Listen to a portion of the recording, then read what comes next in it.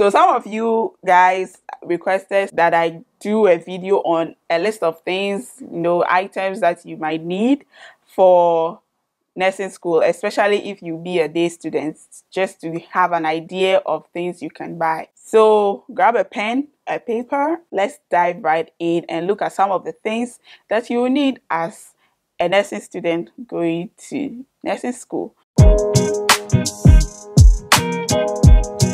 My list of items are under five categories. The first category is cooking. If you are going to stay in a hostel that is not already furnished, then you need a gas cylinder, the small portable one. And also you can buy the one with the fitted, the burner fitted on top. But that's one I don't like it because it's difficult to regulate. So if you have some money to splurge, I'll advise that you buy the cylinder separate, buy a regulator and a tube, and then you add a burner to it. And if you can afford, you can add a two-in-one burner so that can also help you cook faster. You can be preparing banku here and the soup is also here okay? So that it cuts on your cooking time. But if you can't afford the two you can buy just a single burner. That way it's easy to control and on and off.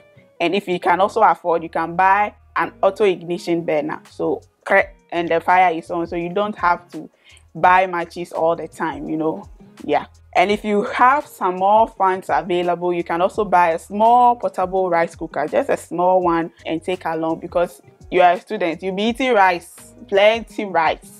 So that can also help cut make life easy for you because you can come back from lectures, just throw rice in the rice cooker and go and take your bath. By the time you come back, the rice is ready, you eat.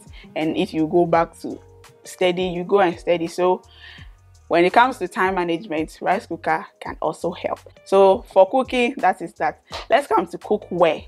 Cookwares are things that you use in the kitchen to prepare food. So first of all, you need cooking pots. Ideally, a three a three set cooking pot is okay for you because you can cook. You know, you know how we cook our food. You can cook rice here, make the stew here, cook banku here, make the soup here, like that. You need a frying pan. Ideally, buy a, a non-stick frying pan because you'll be frying egg a lot yes. You are students so your your easiest protein to grab will be egg. So you'll be frying a lot of egg and it's also helpful when you are doing uh, breakfasty things if you like pancake like me and all of that. So we get a non-stick frying pan plates and cups. I'll say two two or three plates will do for you and buy the unbreakable plates and you get your cups because you'll be drinking tea a lot. Knives, knife for cutting, fork and spoon, wooden spatula for stirring your somethings.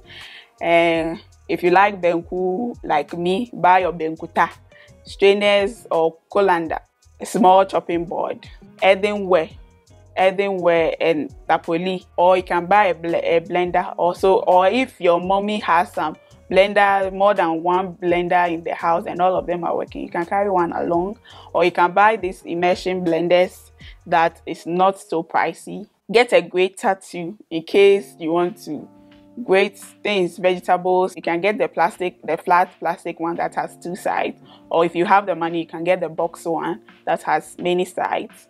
Get that. And I have one that you can change the blades it's very cheap. I, I got it from Melcom, but you can change the blades. You can also get that. It's very, very handy in the kitchen. Then you can get some small food flags or food container that you can put your lunch in when you are going for lectures. Sometimes the hostel might be far from campus, so you have something to eat during the day and not starve. And lastly, under cookware, you get bowls that you can wash your vegetables and things like two or three plastic bowls that's okay. And two other smaller basins it's not big as a basin but it's also bigger than the prep bowl that you can do your dishes in except the, the hostel you are going to stay in has sinks then you ignore this one. Moving on let's go to storage. So for storage you need a barrel for storing water. You know in ghana the water doesn't flow sir, all the time. So you need something to store your water in um, in case of incasity. You have something to fall on. Ideally, I'll say buy uh, around 180 liter barrels that can store enough water that can last you even a week should there be water shortage okay so you buy at least two buckets and if you can add a, a washing bowl that's okay then you need food storing containers i saw this once in Melcom some time very cheap but very durable. You can buy such for your sugar salt gari you know anything that needs to be poured and closed airtight. You can get containers that can help you do that so that your things don't go bad. For groceries, you are looking at things that you can carry along that can last long, you know, that can last longer. For the rest, when you get to the town, you can locate places that you can get these things to buy. But there are things that you should always have in your kitchen so that even if you don't have money, you are able to eat. One is rice. So you can go with a five kilo bag of rice. Spaghetti, yes, every student eats spaghetti. Tomato paste in a can or in the sachet vegetable oil, red oil, and you also need canned proteins. Uh, yeah, canned proteins like uh, mackerel in tomato sauce, sardines, corned beef, um, corn sausages, canned sausages, you know, so that you have a quick source of protein to add to your meal you need your gari. Hey which student goes to school without gari? You need your gari. If you don't like eating gari then you can find other cereals maybe cornflakes and other cereals that you already eat at home. You can buy some and take along. And if you're an ewe girl you know you are going to miss your akple. You know you can prepare some cornmeal. Ewo ewo prepare some ewo. Put in your container so that once a while you akple with some raw pepper, kanami. Still under groceries, you can go with Tom Brown, semolina, you know, those morning porridgey thing, custard and co to whip up a quick breakfast, eat before you go, oats and all of that. And of course, your shito or uh, chili sauce in oil. Chili sauce, I love green chili sauce. It's so nice. So you can go with shito or your green chili sauce so that you have quick, quick food. You get some fancy dokuno, pair it with your shito and some sardine. You are done. Lunch is ready. You are gone. Okay, so go with your shito. Shito is a lifesaver. Shito will save your life. Green chili sauce is sweet. And other provisions: Milo, powdered milk, sugar. You know, any other thing that you can put in your troubles that can help make your life easy. Put that in there to help you as a day student okay? Moving on let's go to bath and bedding. For your hygiene set you need your toothbrush and toothpaste. You need your sponge your towel your soap bathing soap. You need your body lotion face cream whatever however you treat your face. You need your deodorant to smell nice okay? So that is for your hygiene set. For your bed sets things you use to make your bed blankets, bed sheets, pillowcases, pillows. And depending on the weather, you need a duvet or comforter. So if you are going to school in Kwahu area, you need something to keep you warm at night. So a duvet or a comforter is good. Or you get an extra blanket to cover yourself. And also you need curtains, curtains for your room. Even as boarders, we were asked to bring curtains. Yes. So you have to buy curtains too. In case you are by the side the bed you get is at the near the window. You can cover that place so that light is not always disturbing your sleep okay?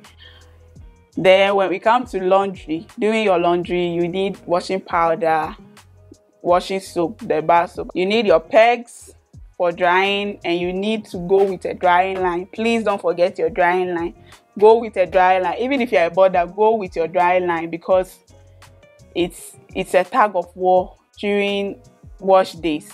You have to have your own dry line so that anytime any day you can wash and dry your things okay? Go with iron and hangers to hang your uniform. So i think that is that for the list. It's not exhaustive so if you have any other thing to add you can add and some of these things you can get, especially the cookware and things you can get from your mother's kitchen. So go through your mother's kitchen, the new silver set that she's packed mm. somewhere that she's not using. Tell her when you become a nurse, you replace it for her and carry things, carry things from the kitchen. Other tips I'll give you is that when the day on the day that you set off, at least prepare some things more, prepare some stew and some rice okay prepare some stew that can last you maybe three four days and go along with it so that it will help you settle down and before you know your left from your right if you are going with a rice cooker you can go with the stew and then you you'll be cooking your rice and your spaghetti and all in the rice cooker. And then when you are fully settled you can start looking for other perishable foods along that you can buy to prepare your food with. Okay so go along with something already cooked for the beginning. The next tip i'll give you is that when you're settled when you're settled look for the nearest market or if there's a major market around you have to know the location of that major market and learn their market days okay? Learn their market days because market days mostly farmers will bring things to the market. Food tends to be cheaper on market days than ordinary days. So you plan your things around that knowing that okay if every tuesday is market day or every friday is market day i can go and buy my kontomire my tomatoes onions and things that can last me for the week or even for the month. So you you have to locate the market. Or if the town itself is not having a market the nearest big market that things can be affordable locate that one. And also locate shops that sell affordable groceries that you can buy and cook anytime you want because it's not every day that you'll be able to go to the market to go and buy the things you need okay if you've been given admission but you the school is not having a hostel or you don't feel like going to the boarding house then watch this video next to guide you on what to look out for in your search for a place to stay as a day student. I hope this video was helpful. Like it, share, and subscribe if you've not done that yet. And I'll see you in my next one. Bye.